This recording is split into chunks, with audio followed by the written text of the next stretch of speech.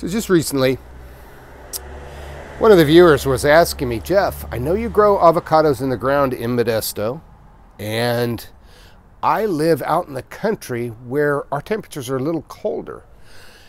And they wanted to know if you could grow avocados to fruit in containers.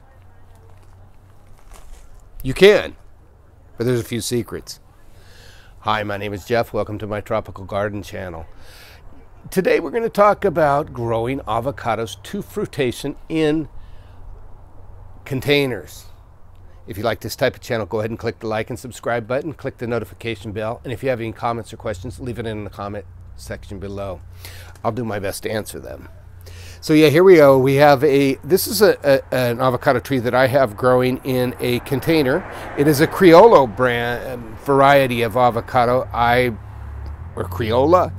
I'm not sure how the quality of the fruit, but I figured I'd give it a try. And I just do not have any space in my yard for another fruiting tree. So I put it in a big pot. Actually, I put two of them. I have two pots over here. One right here and one right here. And this one over here, when I transplanted it, I did not shake off the compost-based potting soil that I had around the roots, and it ended up dying. I ended up subsequently planting a seed directly into the pot and it's doing fine. It had no soil around its roots.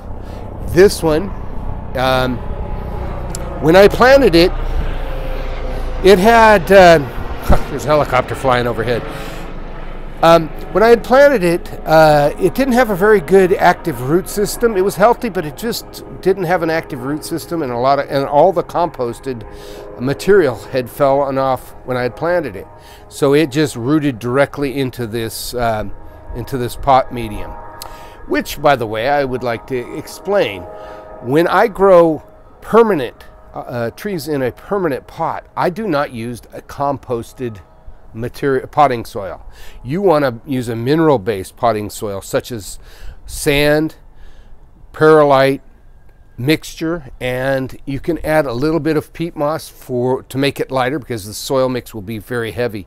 But for the most part you're going to want to use a primarily mineral based potting soil. There's a few out there that you can find on the internet but I mix my own sand just plain sand, uh, a little bit of peat moss, and perlite to make the uh, potting soil lighter and more better drainage. Uh, the failure to do that, that is, use a big box type of uh, big box store type of potting soil, such as uh, Miracle-Gro and whatnot. Well, those are made out of compost, and compost deteriorates pretty rapidly.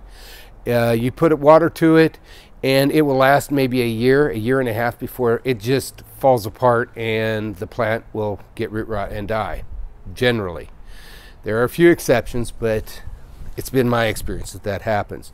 So what I did with this one, just to go back to what, what I did with this guy, is I mixed up a, a, a mixture of sand, uh, peat moss, and perlite. I added a little bit of uh, Osmocote fertilizer, that little concentrated uh, little beads of fertilizer. I added that into it. And then I planted it. The soil that was around the roots, the compost soil, fell off. And so I bare, basically bare rooted it into this pot. And then I added some compost on the top layer. I planted a plant. Kind of tells me whenever the soil is healthy because of uh, these small plants uh, die off first before you notice any any problems with the uh, the avocado trees, and it's doing just great. And like I mentioned, this one over here had all the root, the the uh, it had all the um, composted for um, potting soil on the roots, and it subsequently rotted. So you don't you don't want to use composted uh, potting soil in uh, your avocado medium unless it's a short term. You can do it for a year and it does okay but after a while it starts to deteriorate and you start getting uh, root rot. So yeah, there's what I do when I grow them in containers. And then if you need to, you can just wheel them if the if the temperatures are getting below, um, getting below, say, you know, in the low 30s, uh, upper 20s, and you're in an area that's expected to get, you know, down into the mid 20s or, or below, you may want to protect them. I don't have to here. And I just grew this for landscaping. So yeah, my name is Jeff. If you like this type of video, go ahead and click the like and subscribe button. If you have any questions or comments, leave them in the comment section below. You have a good day.